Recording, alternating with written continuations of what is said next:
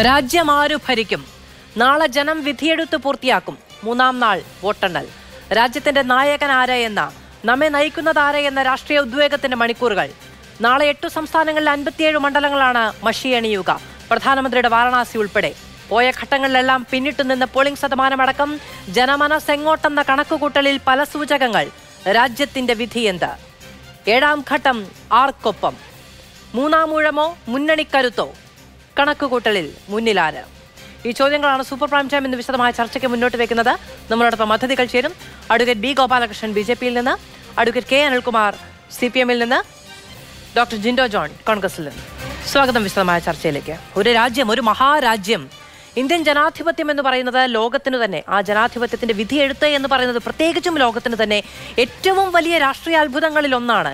എങ്ങനെയാണ് ഇത്രയധികം വൈവിധ്യങ്ങളുള്ള ഇത്രയധികം രാഷ്ട്രീയ കാഴ്ചപ്പാടുകളുള്ള ഇത്രയധികം സാമുദായിക സമവാക്യങ്ങളുള്ള എല്ലാം കൊണ്ടും നാനാത്വമുള്ള എന്നാൽ ഏകരാഷ്ട്രീയ മനസ്സുള്ള ഏകസ്വത്വമുള്ള ഒരു വലിയ ബൃഹത്തായ മഹാരാജ്യം ഒരു തിരഞ്ഞെടുപ്പ് പ്രക്രിയ കുറ്റമറ്റ രീതിയിൽ പൂർത്തിയാക്കുന്നത് എന്നുള്ളത് ലോകത്തേതു രാഷ്ട്രീയ വിദ്യാർത്ഥിക്കും ഏറ്റവും വലിയ കൗതുകമാണ്. അതാ നാളെ ഏഴാം ഘട്ടമാണ്. അത് കഴിഞ്ഞാൽ ആ തിരഞ്ഞെടുപ്പ് വോട്ടെണ്ണലിന്റെ അവസാന വോട്ട് വീഴുന്ന സമയത്ത് ഇന്ത്യൻ ജനാധിപത്യം ആ പ്രക്രിയ അതിമനോഹരമായി പൂർത്തിയാക്കുകയാണ്. പിന്നീടുള്ളത് ആ വിധി അറിയാനുള്ള ഏറ്റവും വലിയ ഏറ്റവും വലിയ കാത്തിരിപ്പ്. ദാ ഇപ്പോൾ തന്നെ പരസ്യ പ്രചാരണമെല്ലാം അവസാനിച്ച് വലിയ നിശബ്ദതയിലേക്ക് ഈ രാഷ്ട്രീയ തിരഞ്ഞെടുപ്പ് ഒരു കടന്നിരിക്കുന്നു. ഇനി നമ്മൾ ഏറ്റവും കൂടുതൽ കൗതുകത്തോടെ കാത്തിരിക്കുന്നത് ആ വിധി എഴുതാണ്. ആരാണ് നമ്മുടെ രാജ്യം ഭരിക്കുക? ആരാണ് നമ്മെ നാളെയിലേക്ക് നയിക്കുക എന്നുള്ളത്? Doctor Jinto John. Doctor Jinto John ഒരു പ്രതിപക്ഷം അതായത് പ്രതിപക്ഷവും ഭരണപക്ഷവും തമ്മിലുള്ള ഒരു വലിയ മത്സരം നടക്കുന്നു. ഏറ്റവും ഏതൊരു യുദ്ധത്തിന്റെതാണെങ്കിലും ഏറ്റവും പ്രധാനപ്പെട്ട ചോദ്യം എന്ന് പറയുന്നത് അവിടെ ഒരു ഫെയർ ബാറ്റിൽ നടന്നു എന്നുള്ളതാണ്. പ്രതിപക്ഷം ഈ തെരഞ്ഞെടുപ്പിനെ അതിന്റെ പ്രക്രിയയെ നാളെ നടക്കാൻ പോകുന്ന ഏഴാം ഘട്ടത്തിനെ വിധിയെഴുത്തിനെ എങ്ങനെ നോക്കിക്കാണുന്നു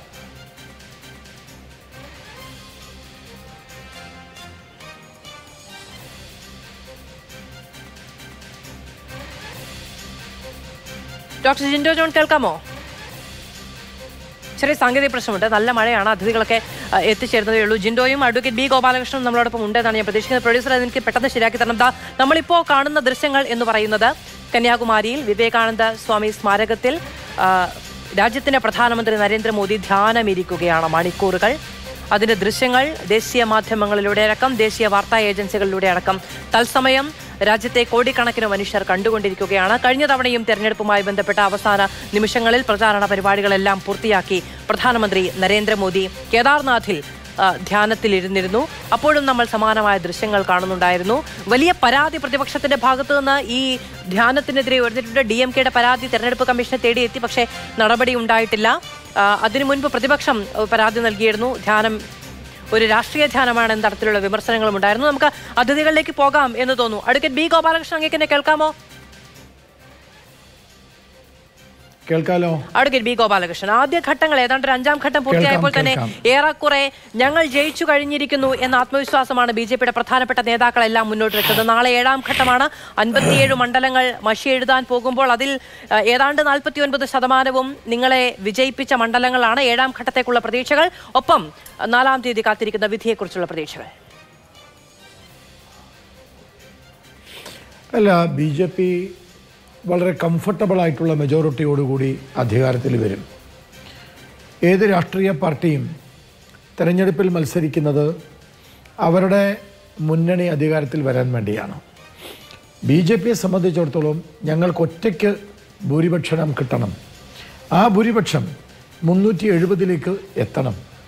ഇത് ഞങ്ങളുടെ കാൽക്കുലേഷനാണ് കാരണം കഴിഞ്ഞ പ്രാവശ്യം ഭാരതീയ ജനതാ പാർട്ടി ഒറ്റയ്ക്ക് മുന്നൂറ്റി മൂന്ന് സീറ്റ് നേടി. അതിനു മുമ്പ് ഞങ്ങൾക്ക് മുന്നൂറ്റി മൂന്ന് സീറ്റിൽ കുറവായിരുന്നു.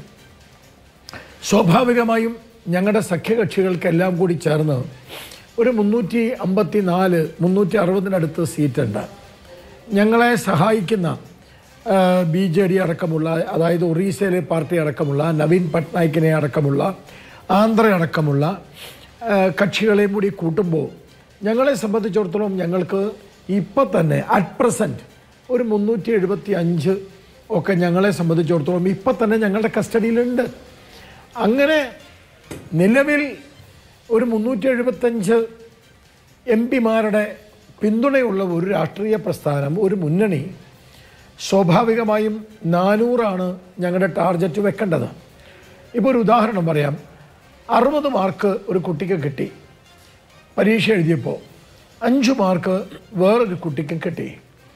അടുത്ത പരീക്ഷ എഴുതാൻ പോകുമ്പോൾ ഈ അറുപത് മാർക്ക് കിട്ടിയ കുട്ടി മുപ്പത്തഞ്ച് മാർക്കിന്റെ ടാർജറ്റ് അല്ലല്ലോ വെക്കുക. ഫസ്റ്റ് ക്ലാസ് കിട്ടിയതല്ലേ. അതേസമയത്ത് അഞ്ച് മാർക്ക് കിട്ടിയ കുട്ടി സ്വാഭാവികമായും ജസ്റ്റ് പാസിന് വേണ്ടി മുപ്പത്തഞ്ചിലേക്ക് ശ്രമിക്കും. ഞങ്ങളെ സംബന്ധിച്ചിടത്തോളം ഫസ്റ്റ് ക്ലാസ് കിട്ടിയതാണ്.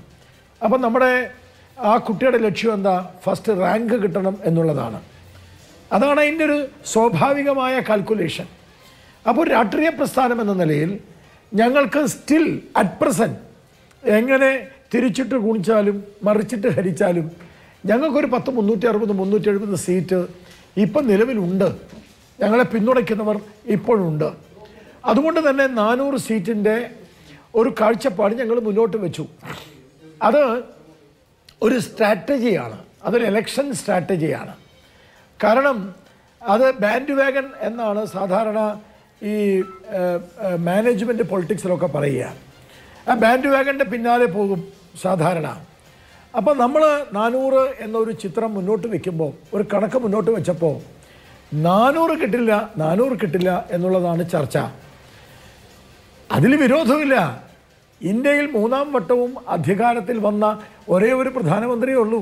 അത് ജവഹർലാൽ നെഹ്റു ആണ് അതേസമയത്ത് ഇരുന്നൂറ്റി എഴുപത്തിരണ്ട് സീറ്റ് മാത്രമായിട്ട് ബി ജെ പി അധികാരത്തിൽ വന്നാലും മൂന്നാം തവണയും അധികാരത്തിൽ വരിക മെജോറിറ്റിയോടുകൂടി അധികാരത്തിൽ വരിക എന്നുള്ളതാണ് ഒരു രാഷ്ട്രീയ പാർട്ടിയുടെ ബേസിക് ആയിട്ടുള്ള അഭിലാഷം.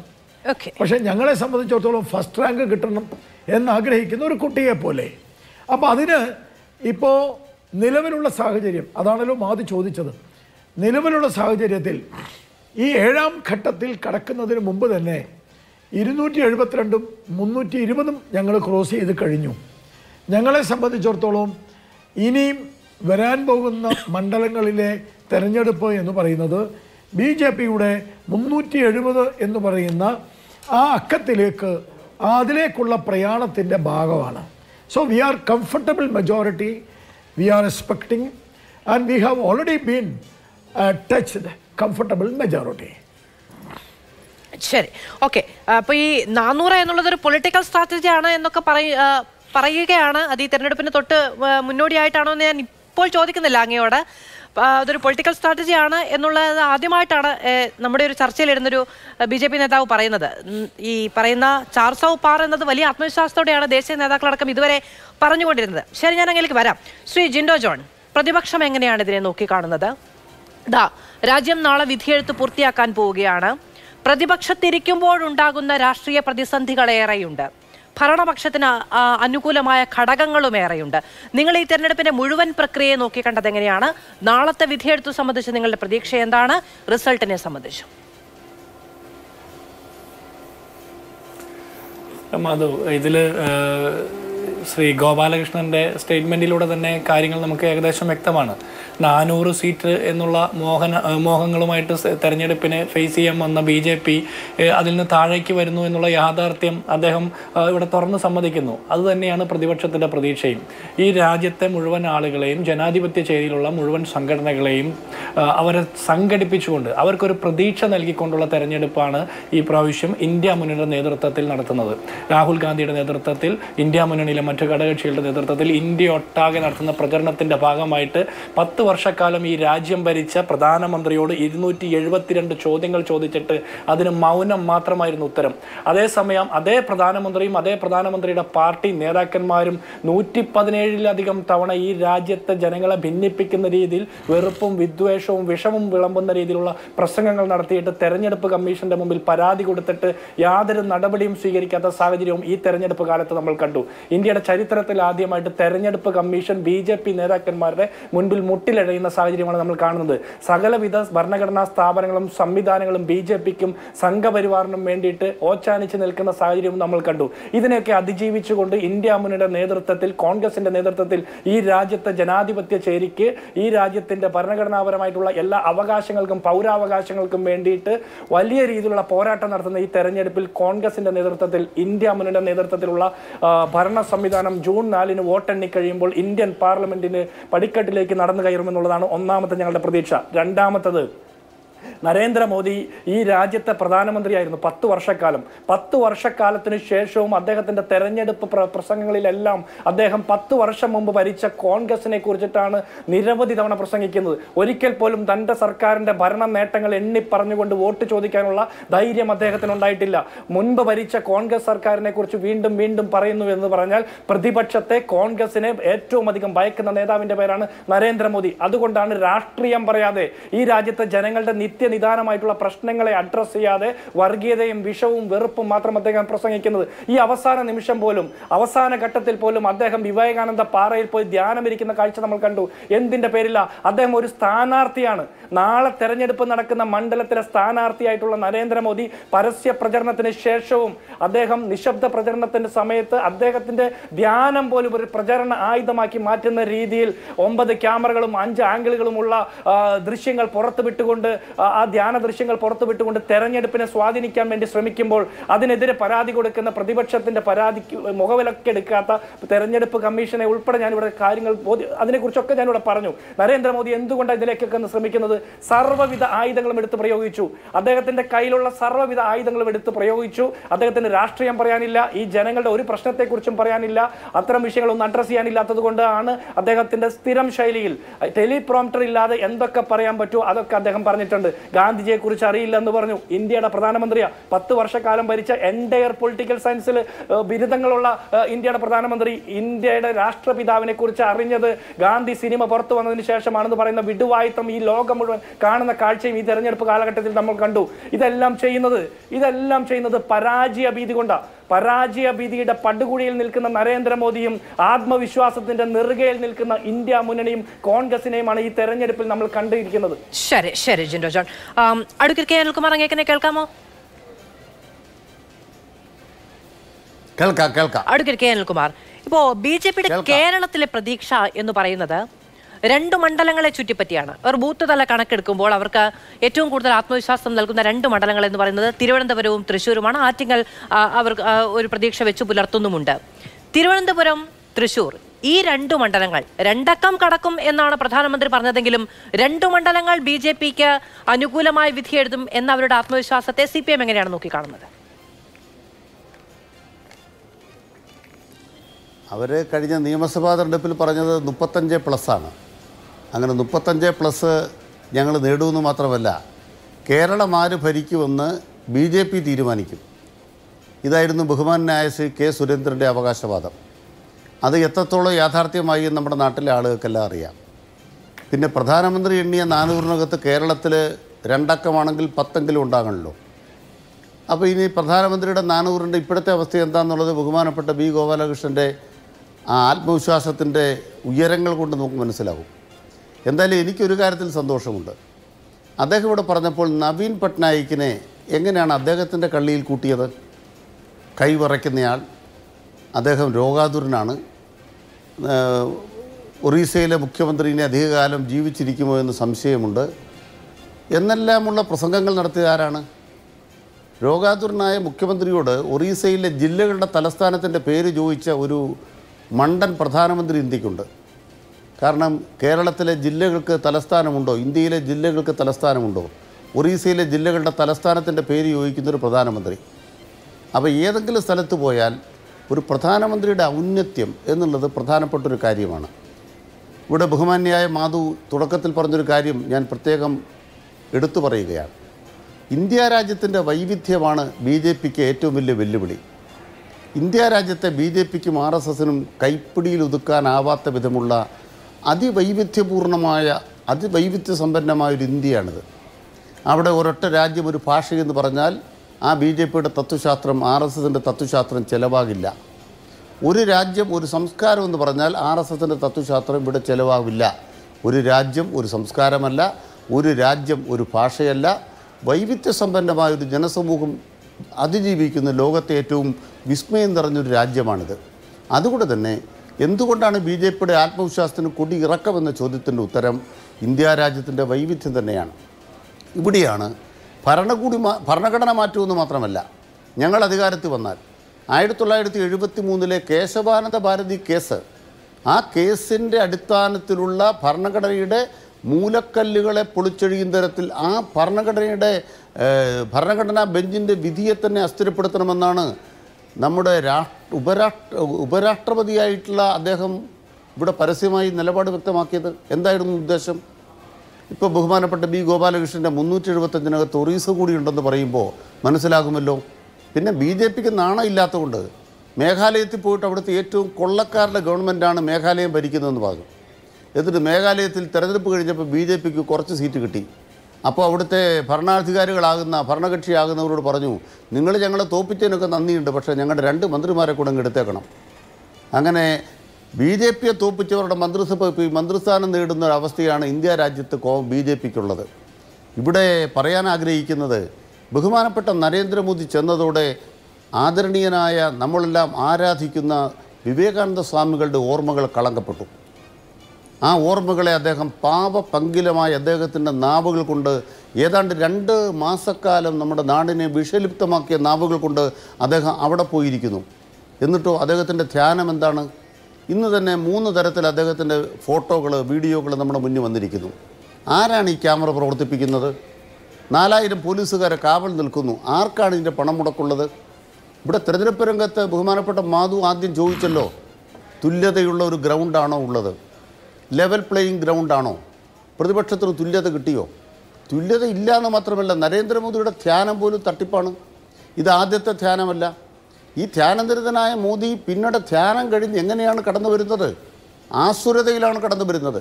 അദ്ദേഹത്തിന്റെ ഭാഷയോ അദ്ദേഹത്തിന്റെ നിഗൂഢതകളോ ഒരിക്കലും ഒരിക്കലും നമ്മുടെ സമൂഹത്തിൽ പൊരുത്തപ്പെടാനാവാത്ത കാര്യങ്ങളാണ് ഒരു പ്രധാനമന്ത്രി എന്ന നിലയ്ക്ക് അദ്ദേഹം ചെയ്തു വെച്ചിട്ടുള്ളത്.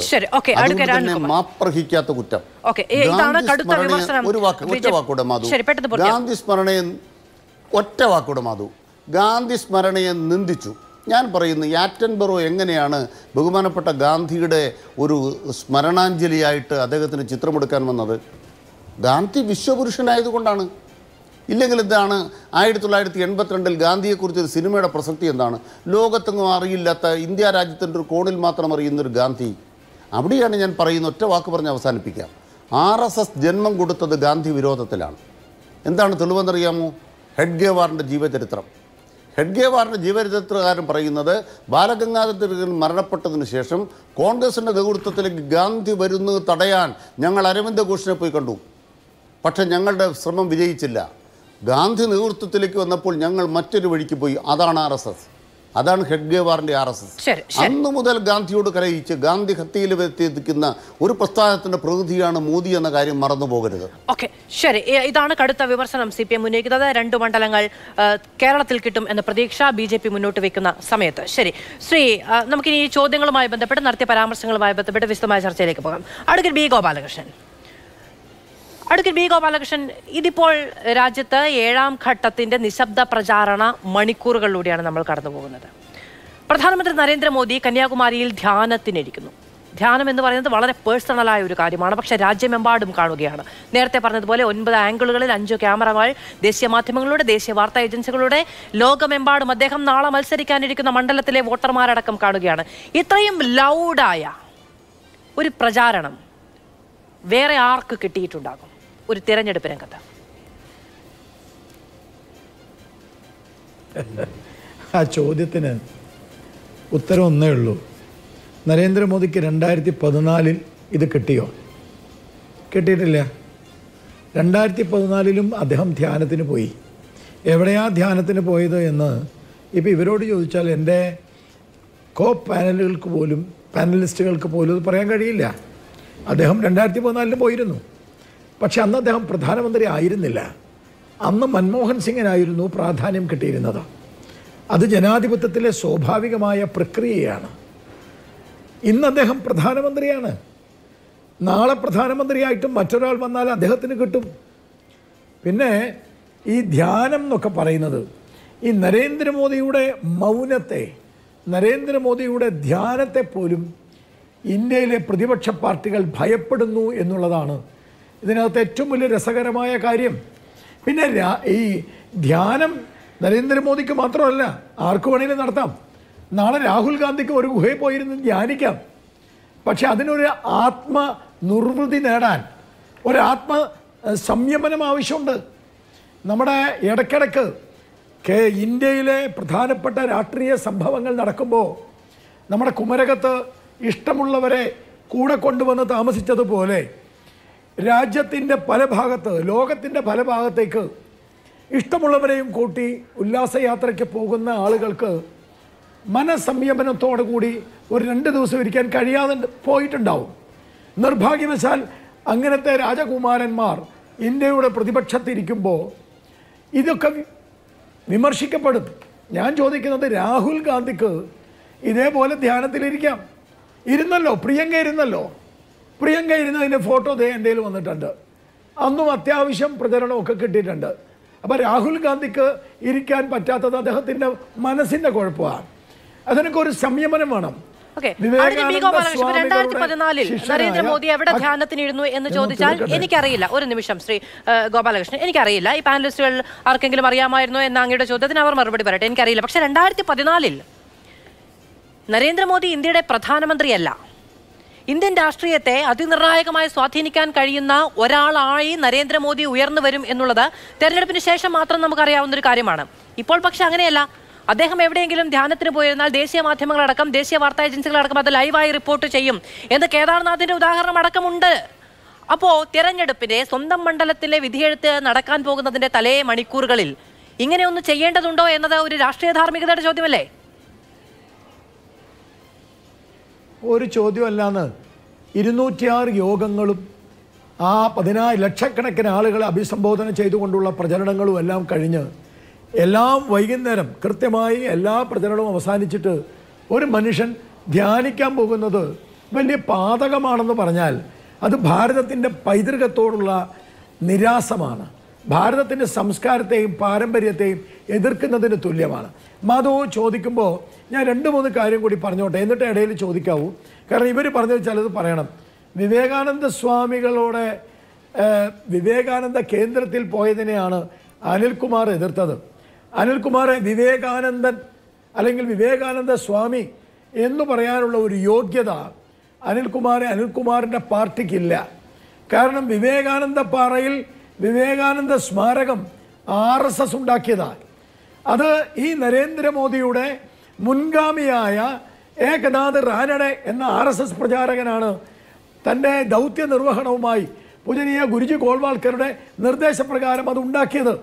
അന്ന് അദ്ദേഹം എല്ലാ സംസ്ഥാന സർക്കാരുകളെയും ബന്ധപ്പെട്ടു. കോൺഗ്രസ് സർക്കാരുകൾ ആ പാറ നിർമ്മിക്കുവാൻ സ്മാരകം നിർമ്മിക്കാൻ പണം കൊടുത്തു. ആ പാറയിൽ വിവേകാനന്ദ പാറയിൽ സ്മാരകം നിർമ്മിക്കാൻ എതിർത്തത് കമ്മ്യൂണിസ്റ്റ് മാർസറ്റ് പാർട്ടിയാണ്. ഇനി അത് ഒന്നാമത്തെ കാര്യം. രണ്ടാമത്തെ കാര്യം ഈ തൃശ്ശൂർ കേരളവർമ്മ കോളേജ് എന്റെ കോളേജാണ്. ആ കോളേജിൽ ചിന്മയാനന്ദ സ്വാമി വന്ന് വിവേകാനന്ദ ജയന്തി ആഘോഷിക്കുമ്പോൾ വിവേകാനന്ദ പ്രതിമയിൽ ചെരുപ്പ് ഇട്ടവരാണ് ചെരുപ്പിട്ട് പ്രതിഷേധിച്ചവരാണ് മാർസിസ്റ്റ് പാർട്ടി. ആ നിങ്ങളാണ് ഇപ്പോൾ വിവേകാനന്ദനെ കുറിച്ച് പറയുന്നത്. എനിക്ക് വിരോധമില്ല നല്ലതാണ്. വിവേകാനന്ദനെ അറിയുന്നതും നല്ലതാണ്. പക്ഷേ കോൺഗ്രസ് എന്താ പറഞ്ഞത്?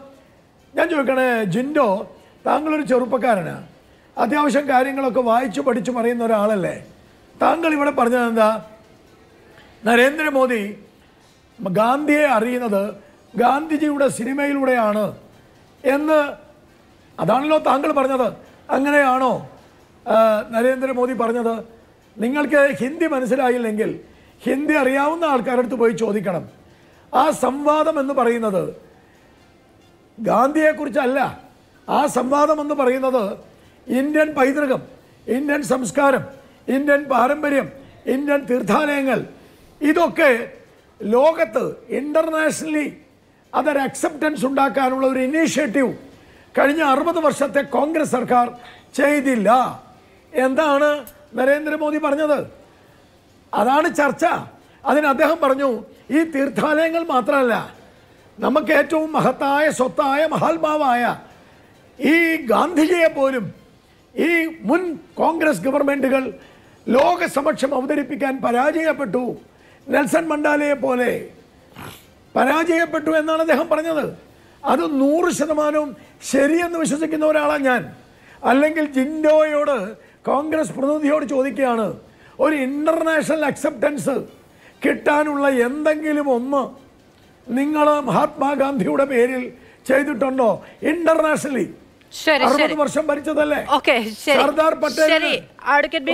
ഇടപെടുകയാണ്. അങ്ങേക്ക് ആവശ്യത്തിന് ഡിഫെൻഡ് ചെയ്യാനുള്ള സമയം കിട്ടിയെന്നാണ് ഞാൻ വിചാരിക്കുന്നത്. ആവശ്യത്തിന് ഡിഫെൻഡ് ചെയ്യാനുള്ള സമയം കിട്ടിയെന്നാണ് ഞാൻ വിചാരിക്കുന്നത്. ഞാൻ ഇടപെടുകയാണ്.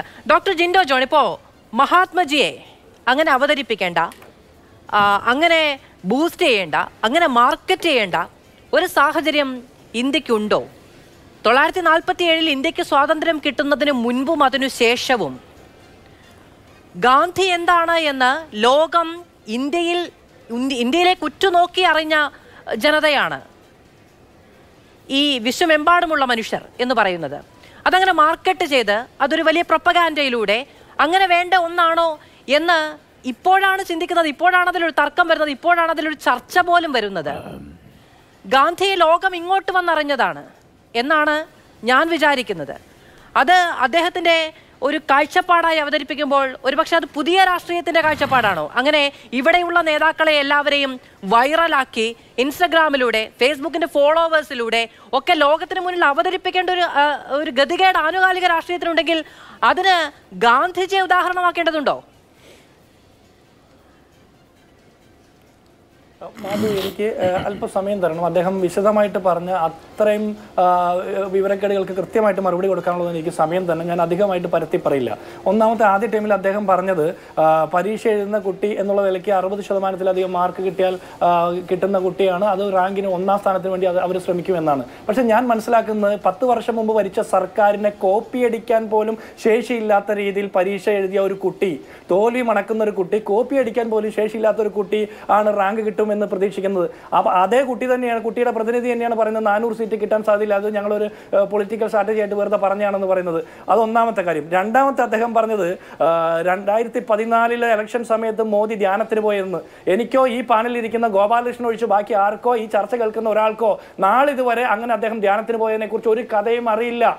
ഉണ്ടെങ്കിൽ അവർ പറയണമായിരുന്നു. അങ്ങനെ ഒരു കഥയില്ല. ഇനി അത് അദ്ദേഹത്തിന്റെ സ്വകാര്യമായിട്ടുള്ള കാര്യമാണ്. ധ്യാനത്തിന് പോകാം. പക്ഷേ രണ്ടായിരത്തി പത്തൊമ്പതിലും രണ്ടായിരത്തി ഇരുപത്തിനാലിലും അദ്ദേഹം ധ്യാനത്തിന് പോകുന്നത് നാട്ടുകാരുടെ ചെലവിലാണ്. നാട്ടുകാരുടെ ചെലവിൽ ധ്യാനത്തിന് പോകുന്ന നാണം കെട്ട പരിപാടിയെ ഇത്രയധികം ന്യായീകരിക്കാൻ വേണ്ടിയിട്ട് പണ്ട് നടക്കാത്തൊരു ധ്യാനത്തെക്കുറിച്ച് കള്ളം പറയുകയും കൂടി ചെയ്യുന്നത് പറഞ്ഞാൽ മര്യാദകേടാണ്. ഇനി നിങ്ങൾ പറയുന്നത് മോദിയുടെ മൗനം ആ മൗനത്തെ പ്രതിപക്ഷം ഭയപ്പെടുന്നു എന്ന. മോദിയുടെ മൗനത്തെ ഭയപ്പെടുന്നത് ഗുജറാത്ത് കലാപകാലത്ത് ആ സംസ്ഥാനത്തെ ജനങ്ങളായിരുന്നു. മണിപ്പൂരിലെ പതിനായിരക്കണക്കിന് മനുഷ്യരാണ് ഈ രാജ്യത്തെ ന്യൂനപക്ഷങ്ങളും സ്ത്രീകളും ആദിവാസികളും ദളിത് വിഭാഗത്തിൽപ്പെട്ട മനുഷ്യരും പാവപ്പെട്ട മനുഷ്യരുമാണ്. കലാപങ്ങൾ നടക്കുമ്പോൾ കൊലകൾ നടക്കുമ്പോൾ തോന്നിവാസങ്ങൾ നടക്കുമ്പോൾ ആ മോദിയുടെ ഇന്ത്യൻ പ്രധാനമന്ത്രിയുടെ മൗനത്തെ ഭയപ്പെടുന്നത് ഈ രാജ്യത്തെ സാധാരണ മനുഷ്യരാ. മാത്രമല്ല മോദി ഭയപ്പെടുന്നത് ഈ രാജ്യത്തെ പ്രതിപക്ഷത്തിന്റെ ചോദ്യങ്ങളെയാ. ഇരുന്നൂറ്റി എഴുപത്തിരണ്ട് ചോദ്യങ്ങൾ ചോദിച്ചിട്ട് ഇരുന്നൂറ്റി ആറ് യോഗങ്ങളിൽ പങ്കെടുത്തു എന്ന് നിങ്ങൾ തന്നെ പറയുന്ന മോദി ആ ഇരുന്നൂറ്റി എഴുപത്തിരണ്ട് ചോദ്യങ്ങൾക്ക് ഒരു ഉത്തരം പോലും പറയാതിരുന്നത് മോദിയുടെ മൗനം പ്രതിപക്ഷത്തെ ഭയക്കുന്നത് കൊണ്ടാണ്. അടുത്തത് നിങ്ങൾ പറഞ്ഞൊരു കാര്യമുണ്ട് രാഹുൽ ഗാന്ധിക്ക് ധ്യാനം ഇരിക്കാമല്ലോ മനസ്സിന് കുഴപ്പമുള്ളത് കൊണ്ടാണെന്ന്. നിങ്ങൾ യോഗ പഠിച്ചിട്ടുണ്ടോന്ന് അറിയില്ല ഞാൻ കുറച്ചൊക്കെ പഠിച്ചിട്ടുണ്ട്. ഇതിൽ ചിത്തവൃത്തി നിരോധക എന്ന് പറഞ്ഞൊരു കാര്യമുണ്ട്. സ്ഥിരം സുഖം ആസന എന്ന് പറഞ്ഞൊരു കാര്യമുണ്ട്. ഇതൊക്കെ നരേന്ദ്രമോദി എന്ന് പറഞ്ഞ ഈ പൊളിറ്റിക്കൽ കോമാളിക്ക് ഇല്ല എന്ന് തന്നെ കൃത്യമായിട്ട് പറയണം. കാരണം ആ ഇരുപത്തെട്ട് സെക്കൻഡിനിടയ്ക്ക് സ്ഥാനങ്ങൾ മാധു, അദ്ദേഹത്തിന് സ്ഥിരം സുഖം ആസനം എന്ന് പറഞ്ഞുകൊണ്ട് അദ്ദേഹത്തിന് ധ്യാനത്തിൽ ധ്യാനത്തിലിരിക്കാൻ സാധിക്കില്ല. മാധു അത് പിൻവലിക്കണം. നിങ്ങൾ മാധു മാധു അത് പിൻവലിക്കാൻ പറയണം. കഴിഞ്ഞ പ്രാവശ്യത്തെ ചർച്ചയിൽ ഞാൻ പറഞ്ഞപ്പം അപ്പ ചോദിച്ചോ എന്ന് നിങ്ങൾ ചോദിച്ചതാണ്. ഈ വക ഭാഷയിൽ സംസാരിക്കരുത്. മര്യാദയില്ലാത്ത പ്രധാനമന്ത്രിയെ ഭാഷയിൽ സംസാരിക്കുന്നത് അദ്ദേഹത്തിന് എതിർപ്പുണ്ട് അങ്ങത് പിൻവലിക്കാൻ തയ്യാറാണോ എന്ന് ചോദിക്കുന്നു. അത് ശരിയല്ല. നിങ്ങൾ പിൻവലിക്കേണ്ടതാണ്. മാധു, എനിക്ക് ഓരോ ഒരു ഞാൻ എന്റെ രീതിയിലും അല്ല, അല്ല, അത് ശരിയാണ്? ഇതൊരു മര്യാദഘട്ട ഭാഷയാണ്. അല്ല, ഒരു മര്യാദഘട്ട പ്രതിഷേധത്തെ മര്യാദഘട്ട ഭാഷയാണ് ഞാൻ പറയാൻ ആഗ്രഹിക്കുന്നത് ആയിക്കോട്ടെ ഞാൻ താങ്കൾ ചെയ്തോളൂ. പറയരുത്. താങ്കൾ പറഞ്ഞ കേട്ടല്ലോ. ഞാൻ രാഹുൽ. താങ്കളുടെ എതിർപ്പ് ഞാൻ കേട്ടല്ലോ. താങ്കളുടെ. എതിർപ്പ്. മറുപടി പറയട്ടെ. എന്റെ മറുപടി പറയട്ടെ. താങ്കൾ താങ്കളുടെ പറഞ്ഞു മാത്രം പറയും. ഞാൻ എന്റെ മറുപടി. പറയാം ബി ഗോപാലകൃഷ്ണൻ ഗോപാലകൃഷ്ണൻ രാഹുൽ ഗാന്ധി രാഹുൽ ഗാന്ധിയുടെ യാത്രകളെ അങ്ങ് ദ്വയാർത്ഥം വെച്ച് സംസാരിച്ചു പോയി എന്ന് ജിൻഡോയ്ക്ക് അഭിപ്രായ വ്യത്യാസമുണ്ടെങ്കിലോ ഞാൻ ഞാൻ രാഹുൽ ഗാന്ധി എന്നാ പറഞ്ഞത്? കോമാളി എന്ന് പറഞ്ഞിട്ടില്ല. പറഞ്ഞിട്ടില്ല വൃത്തികെട്ടവെന്ന് പറഞ്ഞിട്ടില്ല. ഞാൻ മാന്യമായ ഭാഷയല്ല. ആ മാന്യമായ ഭാഷ അയാൾക്ക് ഉപയോഗിക്കാം എനിക്ക് വിരോധമില്ല. അല്ലല്ല. എന്ത് പറഞ്ഞോട്ടെ. ഞാൻ പറയട്ടെ ഗോപാലകൃഷ്ണൻ താങ്കൾ. ഇടപെടല്ലേ? താങ്കൾ പറഞ്ഞ താങ്കളുടെ അഭിപ്രായ വ്യത്യാസത്തെ ഞാൻ മാനിക്കുന്നു. പക്ഷേ എന്റെ അഭിപ്രായം പറയട്ടെ. താങ്കൾ വെയിറ്റ് ചെയ്യ് എന്റെ അഭിപ്രായ വ്യത്യാസം താങ്കളുടെ അഭിപ്രായ വ്യത്യാസത്തെ ഞാൻ മാനിക്കുന്നു. പക്ഷേ ഞാൻ പറഞ്ഞ കാര്യത്തിൽ ഒരു മാറ്റവുമില്ല. പിൻവലിക്കാൻ തയ്യാറല്ല. കാരണം എന്താണ് നമ്മളുടെയൊക്കെ എന്റെയും ഗോപാലകൃഷ്ണന്റെയും ഈ ചർച്ചയിൽ പങ്കെടുക്കുന്നവരുടെയും ഈ ചർച്ച കാണുന്നവരുടെയും ഒക്കെ നികുതി പണം എടുത്തുകൊണ്ട് തെരഞ്ഞെടുപ്പിൽ മത്സരിക്കുന്ന ഒരു സ്ഥാനാർത്ഥി അദ്ദേഹത്തിന്റെ ധ്യാനം ഈ രാജ്യം മുഴുവൻ കാണിച്ചുകൊണ്ട് തെരഞ്ഞെടുപ്പിനെ സ്വാധീനിക്കാൻ വേണ്ടി ശ്രമിക്കുമ്പോൾ അത് രാഷ്ട്രീയ കോമാളിത്തരം മാത്രമാണ് എന്ന് ഞാൻ വീണ്ടും വീണ്ടും പറയും. പിൻവലിക്കാൻ തയ്യാറല്ല.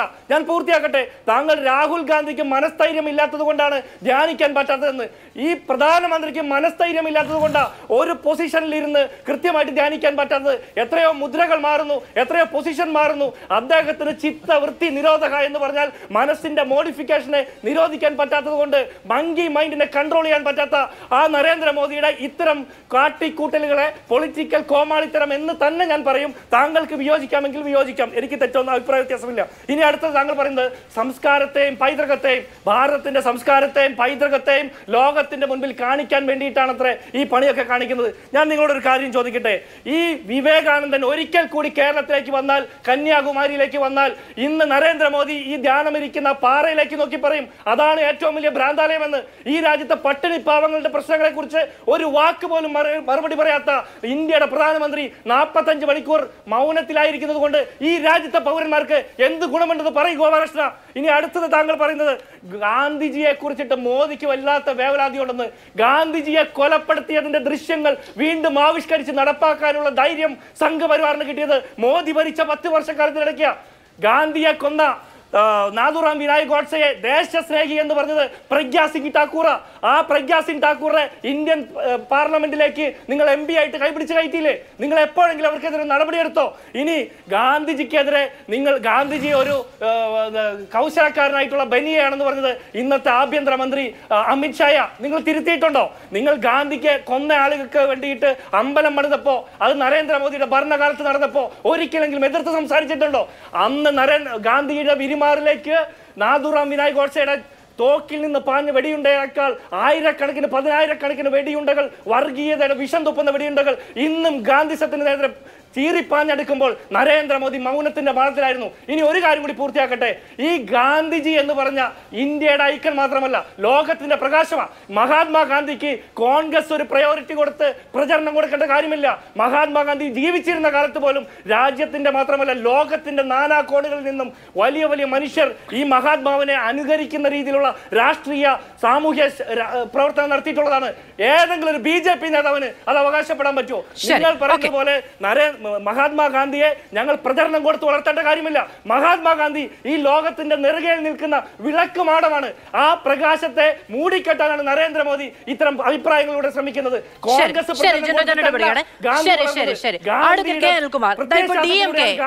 പരാതി നൽകി. അതിനു മുമ്പ് പ്രതിപക്ഷം ഇത് വിലക്കണമെന്ന് ആവശ്യപ്പെട്ടുകൊണ്ട് തെരഞ്ഞെടുപ്പ് കമ്മീഷൻ മുൻപാകെ പോയി. ഞാൻ ആ കാര്യം ചോദിച്ചപ്പോൾ ഇത് ഇത്രയും ലൗഡായ ഒരു പ്രചാരണമല്ലേ എന്ന് ചോദിച്ചപ്പോൾ ഗോപാലകൃഷ്ണൻ പറഞ്ഞത് ഇന്ത്യയുടെ സംസ്കാരമാണ്. ഇന്ത്യയുടെ സ്വത്വമാണ് എന്നുള്ളതാണ്. പക്ഷേ ഈ പരാതി വരുന്ന സമയത്ത് ഇതുവരെ ഡി എം കെയുടെ പരാതിയിൽ അനങ്ങിയിട്ടില്ല. ഇതിനു മുൻപ് അദ്ദേഹം നടത്തിയ പരാമർശങ്ങളുമായി ബന്ധപ്പെട്ട് അദ്ദേഹത്തിനല്ലാതെ ഒരു പൊതുവായ നോട്ടീസ് അയക്കുകയാണ് തെരഞ്ഞെടുപ്പ് കമ്മീഷൻ ചെയ്തത്. ഇത് ഇത്രമേൽ പ്രചരിപ്പിക്കപ്പെടുന്ന സമയത്തു പോലും ഇത് നാളെ വോട്ടെടുപ്പിനെ സ്വാധീനിക്കില്ല എന്ന ആത്മവിശ്വാസത്തോടെ ഇരിക്കാൻ കഴിയുന്ന ഇലക്ഷൻ കമ്മീഷനെ എങ്ങനെ കാണണം? തെരഞ്ഞെടുപ്പ് കമ്മീഷനിൽ നരേന്ദ്രമോദിയുടെ ബാല്യക്കാരെയാണ് വെച്ചിരിക്കുന്നത് എന്നുള്ളത് നമുക്ക് എല്ലാവർക്കും അറിയാം. അവിടെ ഇലക്ഷൻ കമ്മീഷണറായിരുന്ന ഒരാൾ വളരെ പെട്ടെന്ന് രാജിവെച്ച് പോകുന്നു. രണ്ട് ദിവസം കഴിയുമ്പോൾ വേറെ രണ്ടുപേരെ നിയമിക്കുന്നു. എന്തെല്ലാം നാടകങ്ങളാണ് ഇതിൽ നടന്നത്? ചീഫ് ജസ്റ്റിസ് ആ നിയമിക്കപ്പെടുന്നൊരു സമിതിയിൽ അംഗമായി. അദ്ദേഹത്തെ മാറ്റിക്കൊണ്ട് ഭേദഗതി കൊണ്ടുവന്നത് തങ്ങൾ ഇത്തരത്തിൽ തങ്ങൾ ആഗ്രഹിക്കുന്ന രീതിയിൽ ഒരു കള്ളക്കമ്മട്ടം ഉണ്ടാക്കി ആ കമ്മട്ടത്തിലൂടെ നോട്ടടിക്കുന്ന പോലെ ഇന്ത്യ രാജ്യത്ത് ഇങ്ങനൊരു ഇലക്ഷൻ കമ്മീഷൻ സൃഷ്ടിക്കാനാണ് നോക്കിയത്. പക്ഷേ ഓരോ ഇലക്ഷൻ കമ്മീഷനും രക്ഷിക്കാനാകാത്ത പതനത്തിലേക്കാണ് നരേന്ദ്രമോദി മുഞ്ഞുകുത്തി വീണുകൊണ്ടിരിക്കുന്നത്. അതുകൊണ്ട് മിക്കവാറും ആ ധ്യാനം കഴിയുമ്പോൾ അവിടുന്ന് തിരിച്ചു പോരേണ്ടി വരികയില്ല. അദ്ദേഹം ഇപ്പോൾ മനസ്സിലാക്കിയിരിക്കുന്നിടത്തോളം കാലം ഈ ഇലക്ഷൻ ശേഷമുള്ള ആ പോൾ ഫലം അല്ലെങ്കിൽ എക്സിറ്റ് പോൾ ഫലം വരുന്നതിന് മുമ്പ് ഡൽഹിയിൽ എത്തുന്നുണ്ട്. എക്സിറ്റ് പോളും ഫലം വന്നാൽ ചിലപ്പോൾ ബി ജെ പി ഉണ്ടാക്കുന്ന റിസൾട്ട് അനുസരിച്ച് വരാം. ഞങ്ങളതിനെക്കുറിച്ചൊന്നും പ്രവചിക്കാൻ ആളുകളല്ല. പക്ഷെ ജനങ്ങൾ വീണ്ടും നരേന്ദ്രമോദിയെ പ്രധാനമന്ത്രിയാക്കും എന്ന് ഞങ്ങൾ വിചാരിക്കുന്നില്ല. അങ്ങനൊരു സാഹചര്യം ഉണ്ട് എന്ന് ഞങ്ങൾ കാണുന്നുമില്ല. ഇപ്പോൾ നമ്മൾ ചിലയിടങ്ങളിൽ നിന്ന് ചില ദൃശ്യങ്ങൾ ഈ. തെരഞ്ഞെടുപ്പിന്റെ സമയത്ത് ഏറ്റവും കൂടുതൽ വൈറലായിട്ടുണ്ട്. എട്ട് വോട്ടുകൾ ചെയ്യുന്ന ഒരു കൗമാരനക്കാരനെ കണ്ടു. ആ ദൃശ്യങ്ങൾ വലിയ തോതിൽ രാജ്യമെമ്പാടും പ്രചരിച്ചതോടെ അവിടെ തെരഞ്ഞെടുപ്പ് നടപടിക്രമങ്ങളിലേക്ക് പിന്നീട് കടന്നു. പക്ഷേ അത് വൈറലായ ഒരൊറ്റ ദൃശ്യമാണ്. എത്രയിടത്ത് രാജ്യത്ത് സമാനമായ ഇടപെടലുകൾ ഉണ്ടായിട്ടുണ്ടാകും എന്നതൊരു വലിയ പ്രശ്നമാണ്. നമ്മൾ ഭയങ്കരമായ ധർമ്മയുദ്ധമാണ് നടക്കുന്നത്. വളരെ ഏറ്റവും വിശ്വാസ്യതയുള്ള നടപടിക്രമങ്ങളാണ് പൂർത്തീകരിക്കുന്നത് എന്നൊക്കെ അഭിമാനത്തോടെ പറയുമ്പോഴും അതല്ല എന്നതിന്റെ ചില ഉദാഹരണങ്ങളെങ്കിലും നമ്മുടെ മുന്നിലുണ്ട്. അല്ല സെവന്റീൻ സി പ്രകാരം എല്ലാ ദിവസവും പോളിംഗ് കഴിഞ്ഞാൽ വൈകുന്നേരം പൂർത്തീകരിക്കപ്പെടുന്നൊരു ഫോറം ഉണ്ടല്ലോ. അത് വെച്ചിട്ട് നമ്മുടെ രാജ്യത്ത് എത്ര പേർ വോട്ട് ചെയ്തു ഓരോ ഘട്ടത്തിൽ എന്ന് പറയാൻ ഇലക്ഷൻ കമ്മീഷൻ അധികം ദിവസങ്ങൾ വേണ്ട. പക്ഷേ നമ്മുടെ ഇലക്ട്രൽ ബോർഡിന്റെ കേസിൽ എസ് ബി ഐ പറഞ്ഞ പോലെ ഞങ്ങൾക്കത് ജൂൺ മുപ്പത് കഴിഞ്ഞ് ഞങ്ങൾ പുറത്ത് പറയുള്ളൂ എന്ന് പറഞ്ഞൊരു ഇലക്ഷൻ കമ്മീഷനാണ്. അവസാനം സുപ്രീം കോടതി ഹരീഡ് സാലോ വാദിച്ചിട്ടും രണ്ട് ഗവണിലും അടി കൊടുത്തു കഴിഞ്ഞപ്പോഴാണ് നരേന്ദ്രമോദി ഇ ഡി ഉപയോഗിച്ച് ഇലക്ട്രൽ ബോണ്ട് കൊള്ള നടത്തിയതിന്റെ വിവരങ്ങൾ പുറത്തു വന്നത്. അതുപോലെ തന്നെ ഇപ്പോഴും ഇലക്ഷൻ കമ്മീഷൻ ദാസ്യവേല നടത്തിക്കൊണ്ടിരിക്കുകയാണ്. പക്ഷേ ഇതൊന്നും ഇവിടുത്തെ ജനങ്ങൾ ഒരു കാരണവശാലും അംഗീകരിക്കുന്നില്ല എന്ന് മാത്രമല്ല മോദിയുടെ കയ്യിലല്ല ഇന്ത്യയിലെ ജനങ്ങൾ. ഇപ്പോൾ സുപ്രീം കോടതി തന്നെ കെജ്രിവാളിനെ എന്തിനാണ് തുറന്നു വിട്ടത്?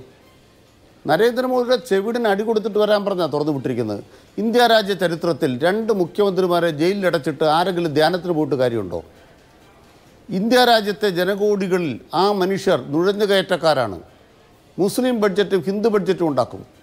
പത്ത് കൊല്ലം ഇന്ത്യയുടെ പ്രധാനമന്ത്രിയായിരുന്ന അഭിവന്ദനായ മൻമോഹൻ സിംഗ് പറഞ്ഞില്ലേ എന്നെ മിസ്കോട്ട് ചെയ്തു. ഞങ്ങളുടെ മാനിഫെസ്റ്റോയെക്കുറിച്ച് മിസ്കോട്ട് ചെയ്തു. ഞങ്ങൾ പറയാത്ത പറഞ്ഞു. ഞാൻ നരേന്ദ്രമോദിയെ ഏതാണ്ട് കോമാളി എന്ന് വിളിച്ച് അദ്ദേഹം വേദനിക്കുന്നത് കണ്ടു. ഞാൻ കോമാളി എന്ന് വിളിക്കുന്നില്ല പക്ഷേ നുണയെന്ന് വിളിക്കാം. പച്ച നുണയല്ലേ പറഞ്ഞത്. മംഗല്യസൂത്രം പിടിച്ചു പറിക്കുമെന്ന് ആരെങ്കിലും പറഞ്ഞോ? ഇന്ത്യ രാജ്യത്ത് ആരെങ്കിലും പറഞ്ഞോ? പക്ഷേ മംഗല്യസൂത്രം കൊണ്ടുപോയി കേട്ടോ. കൊണ്ടുപോയത് ആരാണ്? നരേന്ദ്രമോദിയുടെ കൂടെ നടക്കുന്ന രണ്ട് പേർ അദ്ദേഹം പറഞ്ഞല്ലോ വിമാനത്തിൽ ആരൊക്കെ ആരോ കൊണ്ടുപോയി. കൊണ്ടുപോയത് അംബാനിയാണ്. കൊണ്ടുപോയത് അദാനിയാണ്. അവർ ശതകോടീശ്വരന്മാരായി. അതിന്റെ ഭാഗമായി രാജ്യത്ത് പട്ടിണിക്കാരുടെ എണ്ണം കൂടിയപ്പോൾ നരേന്ദ്രമോദി പറഞ്ഞ പോലെ ഇവിടുത്തെ മംഗല്യസൂത്രം വരെ വിൽക്കുക മാത്രമല്ല മടിയാധാരം വിറ്റ മനുഷ്യരുണ്ട് സ്ത്രീകളുണ്ട്. നിങ്ങളൊരു ഗ്യാസ് കുറ്റി പകരം എടുക്കാൻ മാർഗമില്ലാത്ത സ്ത്രീയുണ്ട്. അതുകൊണ്ട് തന്നെ അത് സംഭവിച്ചു കഴിഞ്ഞു. പക്ഷേ ഇതിന് കാരണം കോൺഗ്രസ് അല്ല അതിന് കാരണം ഈ കോൺഗ്രസിന്റെ മാനിഫെസ്റ്റോ അല്ല. നരേന്ദ്രമോദിയുടെ ഇവിടുത്തെ കോർപ്പറേറ്റ് പ്രീണന നയമാണ് ചെങ്ങാത്ത മുതലാളിത്തമാണ്. ഇവിടെ സി പി എമ്മിനെ കുറിച്ച് പറഞ്ഞ ഏറ്റവും വലിയ നുണ എന്താണ്? ഏറ്റവും വലിയ നുണ ഒരു രണ്ട് കാര്യമുണ്ട്. സി പി എമ്മിനെ കുറിച്ച് നുണ വിവേകാനന്ദന്റെ പ്രതിമയിൽ ഞങ്ങൾ മാല ഇട്ടു എന്താ ചെരുപ്പ് മാല ഇട്ടു എന്തിനാ ഈ മാതൃപിച്ചാലിൽ അങ്ങനെ ഒരു കള്ളം പറയുന്നത്? ഞാൻ എന്റെ അന്തസ്സുകൊണ്ട് അന്നേരം തടഞ്ഞില്ല എന്നേ ഉള്ളൂ. എനിക്ക് അപ്പം തന്നെ തർക്കം ഉണ്ടായിരുന്നു. നിങ്ങളിങ്ങനെ കള്ളങ്ങൾ നിർമ്മിക്കാമോ? രണ്ട് വിവേകാനന്ദ സ്വാമികളാണ് ഇന്ത്യ രാജ്യത്ത് ആദ്യമായി കമ്മ്യൂണിസ്റ്റുകാരുടെ അല്ലെങ്കിൽ തൊഴിലാളി വർഗത്തിന്റെ വിപ്ലവം നടക്കുമെന്ന് പറഞ്ഞ സന്യാസി. ശൂദ്രരാജ്. കമ്മ്യൂണിസ്റ്റ് വിപ്ലവത്തെക്കുറിച്ച് ശൂദ്രരാജ് എന്ന് രണ്ടായിരത്തി ആയിരത്തി തൊള്ളായിരത്തി മൂന്നിൽ പറഞ്ഞ ആളുടെ പേരാണ് വിവേകാനന്ദ സ്വാമികൾ. അതൊന്നും ആയിരത്തി തൊള്ളായിരത്തി രണ്ടിൽ ആ ചരിത്രം മറന്നു പോകരുത്. രണ്ടാമത് ഗാന്ധിജി എങ്ങനെയാണ് കോൺഗ്രസ്സുകാർ ലോകത്തിന് മുന്നിൽ അവതരിപ്പിച്ചത്? എന്തായാലും ഒരു കാര്യത്തിൽ ഞാൻ നന്ദിയോടെ പറയുകയാണ്. ഗാന്ധി ഹത്യ കൊണ്ടിരുന്ന ഗുണമുണ്ടായി. ലോകം മുഴുവൻ അറിഞ്ഞു. ആ വിളക്കണഞ്ഞു. ആ വിളക്കണഞ്ഞുവെന്ന് ലോകം മുഴുവൻ കാണാനിടയായത് ഗാന്ധി ഹത്യ കൊണ്ടാണ് ഗാന്ധി ഹത്യ ഉണ്ടായിരുന്നില്ലായിരുന്നെങ്കിൽ ഗാന്ധിജി എന്ന് പറയുന്ന ഇന്ത്യ രാജ്യത്തിന്റെ രാഷ്ട്രപിതാവ് ഒരു ജീവിതം മുഴുവൻ നടന്നു തീർത്ത നേത്രഗാത്രനായ ഒരു മനുഷ്യന്റെ അവസാന ശ്വാസത്തിന് മുന്നിലും അദ്ദേഹത്തെ സ്വാഭാവികമായൊരു മരണത്തിന് വിടാതെ മൂന്ന് വെടിയുണ്ടകൾ സമ്മാനിച്ച ഹിന്ദുത്വയുടെ പ്രത്യയശാസ്ത്രമുണ്ട്. ആ പ്രത്യയശാസ്ത്രം മഹാത്മാഗാന്ധിയെ ലോകത്തിന് മുന്നിൽ അറിവാക്കിയിടത്തോളം ഒരു സിനിമയ്ക്കും ഒരു കോൺഗ്രസിന്റെ ഏതെങ്കിലും ഒരു പ്രക്രിയയ്ക്കും ആ ലോകത്തിന് മുന്നിൽ ഗാന്ധിയെ അവതരിപ്പിക്കാനായില്ല. അതുകൊണ്ട് തന്നെ ഗാന്ധി കൊല്ലപ്പെട്ടതോടുകൂടിയാണ് ആർ എസ് എസ് എന്താണെന്ന് ലോകം മനസ്സിലാക്കിയത്. ശരി ഓക്കെ അഡ്വക്കേറ്റ് ബി ഗോപാലകൃഷ്ണൻ. ഇതാ ഇന്നിപ്പോൾ മൻമോഹൻ സിംഗിന്റെ ഒരു കത്ത് പുറത്തു വന്നു. അദ്ദേഹം ഈ തെരഞ്ഞെടുപ്പ് പ്രക്രിയ മുഴുവനും നിശബ്ദനായി നോക്കിക്കണ്ടതിന് ശേഷം അദ്ദേഹത്തിന്റെ പേരിലായിരുന്നുവല്ലോ ഈ പറയുന്ന വോട്ട് ബാങ്ക് രാഷ്ട്രീയത്തെ സംബന്ധിച്ചിട്ടുള്ള വലിയ പ്രഹരശേഷിയുള്ള മുഴുവൻ പരാമർശങ്ങളും ഉണ്ടായിട്ടുള്ളത്. അദ്ദേഹത്തിന്റെ പരാമർശം അദ്ദേഹം ഭരിക്കുന്ന കാലയളവിലെ സമീപനം ഒക്കെ വെച്ചുകൊണ്ടാണല്ലോ. അപ്പോൾ മൻമോഹൻ സിംഗിന്റെ കത്തിൽ പറയുന്നു ഇതുവരെ ഒരു പ്രധാനമന്ത്രിയും ഇത്രയും വെറുപ്പ് നിറഞ്ഞ പരാമർശങ്ങൾ തിരഞ്ഞെടുപ്പ് വേളയിൽ നടത്തിയിട്ടില്ല എന്നുള്ളത് മൻമോഹൻ സിംഗിന്റെ പരാതിയായിട്ട് വരുന്നു. നമുക്കറിയാം മൻമോഹൻ സിംഗിനെ ഇന്ത്യ നോക്കിക്കാണുന്നത് എങ്ങനെയാണ് എന്നുള്ളത്. മൻമോഹൻ സിംഗിനെ പറ്റി ബി ജെ പിക്ക് പോലും വലിയ തോതിലുള്ള വിമർശനങ്ങൾ അത്രമേൽ ഉയർത്തേണ്ടി വന്നിട്ടില്ല. അപ്പോൾ അദ്ദേഹത്തിന്റെ ഈ ഈ ഈ പരാമർശത്തെ എങ്ങനെയാണ് ബി ജെ പി നോക്കിക്കാണുന്നത്? മാത്രമല്ല പ്രധാനമന്ത്രിക്ക് അങ്ങനെ തുടർ പ്രഹരങ്ങൾ കോടതിയിൽ നിന്ന് ഏൽക്കുന്നുണ്ടോ? അരവിന്ദ് കെജ്രിവാളിന്റെ ജാമ്യത്തിലടക്കം എന്ന് ചോദിക്കേണ്ടിയിരിക്കുന്നു. പ്രത്യേകിച്ചും പഞ്ചാബിലൊക്കെ പഞ്ചാബിലൊക്കെ വലിയ സ്വാധീനം ആ, വരുത്താൻ പോവുകയാണ്. നിങ്ങൾക്ക് കിട്ടിയിരുന്ന സീറ്റുകളിലടക്കം അരവിന്ദ് കെജ്രിവാളിന്റെ ജാമ്യമടക്കമുള്ള കാര്യങ്ങൾ അരവിന്ദ് കെജ്രിവാൾ അറസ്റ്റിലായതുൾപ്പെടെയുള്ള കാര്യങ്ങൾ വലിയ തോതിൽ നിങ്ങൾക്ക് തിരിച്ചടിയാകുമോ? ഞാൻ നിങ്ങൾ ചോദിച്ചതിന് ഉത്തരം പറയാം. അതിനു മുമ്പ് എന്റെ സഹ പാനലിസ്റ്റുകൾ ഞാൻ വളരെ മാന്യമായിട്ടാണ് ഒരാളെക്കുറിച്ച് മോശമായി സംസാരിക്കുന്നില്ല. പ്രധാനമന്ത്രിയെക്കുറിച്ചൊക്കെ കോമാളി എന്നൊക്കെ പറയുന്നത് ശരിയല്ല. കോമാളി രാഷ്ട്രീയം എന്ന് പറഞ്ഞാൽ തെറ്റില്ല.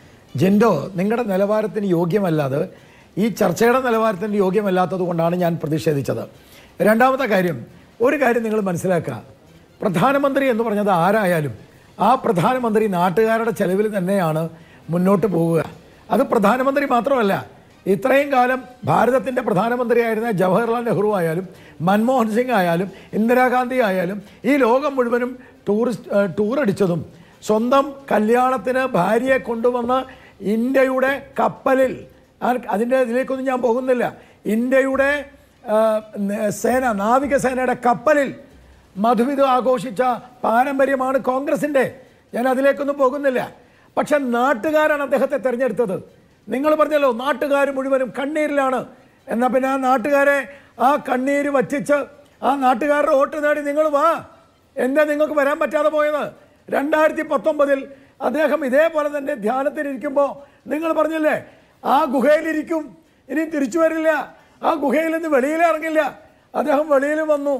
കഴിഞ്ഞ പ്രാവശ്യം രണ്ടായിരത്തി പതിനാലിൽ കിട്ടിയതിനേക്കാൾ കൂടുതൽ സീറ്റോടുകൂടി വെളിയിൽ വന്നു. നിങ്ങൾക്ക് മാനസിക വിഭ്രാന്തിയാണ് ആ വിഭ്രാന്തിക്ക് ഒരു പരിഹാരവും ഇല്ല. അതിനുള്ള ആകെ ഒരു പരിഹാരം ഒന്നുകിൽ നിങ്ങൾ ഏതെങ്കിലും മാനസിക ഡോക്ടറെ കാണുക. അതല്ലെങ്കിൽ യാഥാർത്ഥ്യം മനസ്സിലാക്കുക. ഇന്ത്യൻ രാഷ്ട്രീയത്തിന്റെ യാഥാർത്ഥ്യം. ഇനി കുറച്ച് കഴിഞ്ഞാൽ പറയും ഇ വി എമ്മിന്റെ കുഴപ്പമാണ്. ഇപ്പം നിങ്ങൾ കമ്മീഷനായി. കുറേ കഴിഞ്ഞാൽ തെരഞ്ഞെടുപ്പ് കഴിയുമ്പോൾ പറയും നാലാം തീയതി പറയും നിങ്ങൾ തെരഞ്ഞെടുപ്പിൽ കംപ്ലീറ്റ് ഇ വി എം ആ ബി ജെ പിക്ക് വോട്ട് മറിച്ചു എന്നാൽ രാജസ്ഥാനിലോ അവിടെ കുഴപ്പമില്ല. കർണാടകയിലോ അവിടെ കുഴപ്പമില്ല. അതുകൊണ്ട് എനിക്ക് ഒന്നേ പറയാനുള്ളൂ. നിങ്ങളോട് ഞാൻ രണ്ടുപേരോടും പറയാനുണ്ട്. നിങ്ങളോട് നരേന്ദ്രമോദിയും ഭാരതീയ ജനതാ പാർട്ടിയും മഹാത്മാഗാന്ധിയെ നിന്ദിച്ചിട്ടില്ല. മഹാത്മാഗാന്ധിയെ അദ്ദേഹത്തിന്റെ പേര് തട്ടിപ്പിലൂടെ തട്ടിയെടുത്ത് ഗാന്ധിജിയുമായി പുലബന്ധമില്ലാത്തവർ ഗാന്ധിയുടെ പേരും പറഞ്ഞ് നാട്ടുകാരുടെ മുമ്പിൽ രാജകുമാരനായി വിലസുന്നതാണ് ഗാന്ധി നിന്ന. നിങ്ങൾക്ക് എന്തടിസ്ഥാനത്തിലാണ് ഈ ഗാന്ധി ഗാന്ധി ഗാന്ധി എന്ന് പറഞ്ഞ് നടക്കുന്നത്? നീ മഹാത്മാഗാന്ധിയും നിങ്ങളുടെ ഗാന്ധിയും തമ്മിൽ എന്ത് ബന്ധമാണ് ഒരു ബന്ധവുമില്ല. ഗാന്ധി എന്നുള്ള പേരേ ഇല്ല. എന്നിട്ടും ഗാന്ധി എന്ന് പറഞ്ഞ ആളുകളെ പറ്റിക്കല്ലേ? അതുകൊണ്ട് ഇതൊക്കെ നിങ്ങൾ ഇവിടെ കിടന്ന് പറയുന്നതിൽ എനിക്ക് വിരോധമില്ല. ജൂൺ നാലാം തീയതി കാണാലോ? ജൂൺ നാലാം തീയതിയും ഇതേപോലെ പറയണം. അല്ലാതെ തെരഞ്ഞെടുപ്പ് മിഷനെ പറഞ്ഞ് അപമാനിക്കാൻ ശ്രമിക്കരുത്. പിന്നെ അനിൽകുമാർ അനിൽകുമാറെ എന്റെ കോളേജിലാണ് നടന്നത്. കേരളവർമ്മ കോളേജിൽ ഞാൻ ദൃക്സാക്ഷിയാണ് നിങ്ങൾ പലതും പറയും. പല സമയത്തും പല രീതിയിലും പറയും. ഞാൻ ഈ ചർച്ചയിൽ ഞാൻ ഇതിന് മുമ്പ് പറഞ്ഞ കാര്യമൊന്നും പറയാൻ ആഗ്രഹിക്കുന്നില്ല. എന്നെക്കൊണ്ട് പറയാതിരിക്കുന്നതാണ് നല്ലത്. പിന്നെ നിങ്ങൾ പറഞ്ഞു എന്താണ് നിങ്ങൾക്ക് ഇന്ത്യയിൽ ഈ പൊതു തെരഞ്ഞെടുപ്പിൽ നിങ്ങൾക്ക് എന്തു പങ്കാളിത്തമാണ് വയനാട്ടിൽ നിങ്ങൾ മത്സരിച്ച വിപ്ലവ സിംഹം കോൺഗ്രസിനെ എതിർത്തു. എന്നിട്ട് ഡൽഹി പോയിട്ട് കോൺഗ്രസിന് വോട്ട് ചെയ്ത വിപ്ലവ സിംഹം. ഞാൻ ചോദിക്കട്ടെ ഇന്ത്യയിൽ ഉപ്പ് വെച്ച കലം പോലെ തകർന്നു പോയില്ലേ നിങ്ങൾ? നിങ്ങൾക്ക് എവിടെയെങ്കിലും ഒരു അസ്തിത്വം ഉണ്ടോ? ഈ കേരളം വിട്ടാൽ എന്റെ പിണറായി വിജയൻ നാലാം ഘട്ടത്തിലും അഞ്ചാം ഘട്ടത്തിലും ആറാം ഘട്ടത്തിലും ഏഴാം ഘട്ടത്തിലും എന്റെ ഇന്ത്യയിൽ എവിടെങ്കിലും പോയി ഒരു സ്ഥലത്ത് പ്രചരണത്തിന് പോവാഞ്ഞ് അങ്ങേർക്ക് നല്ല ബോധ്യമുണ്ട് ഒരു കാര്യവും ഇല്ലാന്ന്. അതാണ് അതിന്റെ കാരണം. അതുകൊണ്ട് എനിക്ക് നിങ്ങളോട് പറയാനുള്ളത് എന്താണെന്നറിയോ? ഈ നരേന്ദ്രമോദിയെ എതിർക്കുക നരേന്ദ്രമോദിയെ എതിർക്കുക ഒരു കാര്യവുമില്ല. നിങ്ങളിങ്ങനെ നരേന്ദ്രമോദി എതിർത്ത് എതിർത്തിട്ട് അംബാനിയും അദാനിയുടെയും ഒക്കെ കഥ പറഞ്ഞ് നിങ്ങൾ ജമ്മം പാഴാക്കാം. പക്ഷെ മോദിയെയോ ബി ജെ പിയോ തൊടാൻ പറ്റില്ല. കഴിഞ്ഞ പ്രാവശ്യം കിട്ടിയതിനേക്കാൾ കൂടുതൽ ഭൂരിപക്ഷത്തിൽ ഭാരതീയ ജനതാ പാർട്ടി അധികാരത്തിൽ വരും നാലാം തീയതി. അപ്പം നിങ്ങൾ ഒന്നുകിൽ മാനസിക ആശുപത്രി പോകേണ്ടി വരും.